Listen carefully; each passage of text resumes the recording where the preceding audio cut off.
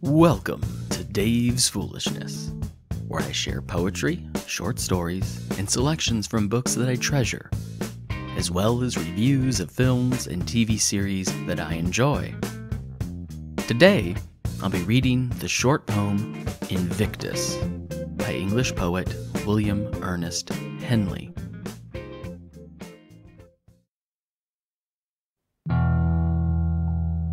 Out of the night that covers me, black as the pit from pole to pole, I thank whatever gods may be for my unconquerable soul.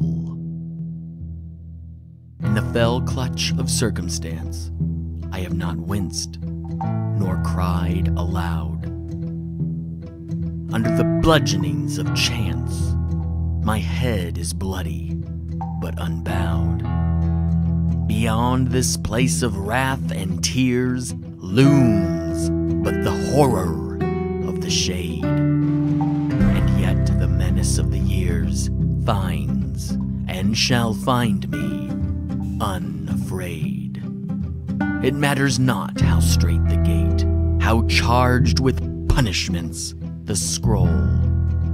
I am the master of my fate.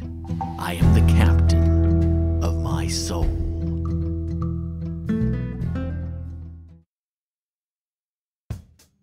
Henley wrote the verses for this poem while recovering from having his leg amputated as a result of complications arising from tuberculosis.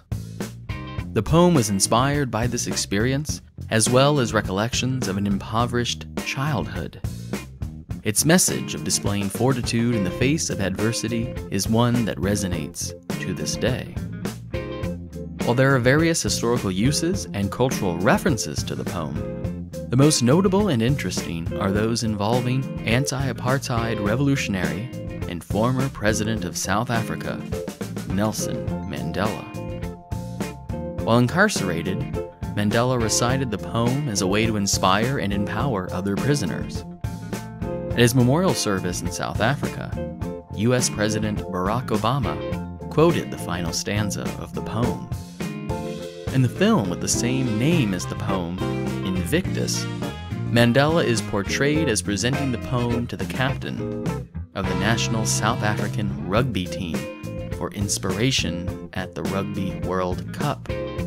Though in the actual event, he presented the text from US President Theodore Roosevelt's famous The Man in the Arena passage from his Citizenship in a Republic speech delivered in France in 1910. It as well carries a message of inspiration and empowerment.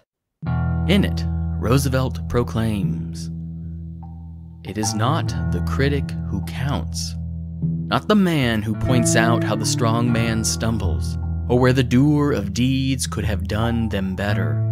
The credit belongs to the man who is actually in the arena, whose face is marred by dust and sweat and blood, who strives valiantly, who errs, who comes short again and again, because there is no effort without error and shortcoming, but who does actually strive to do the deeds who knows great enthusiasms, the great devotions, who spends himself in a worthy cause, who at the best knows in the end the triumph of high achievement, and who at the worst, if he fails, at least fails while daring greatly, so that his place shall never be with those cold and timid souls who neither know victory nor defeat.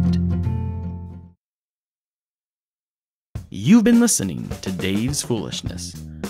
Music in today's reading is by Blue Dot Sessions and can be found on freemusicarchive.org.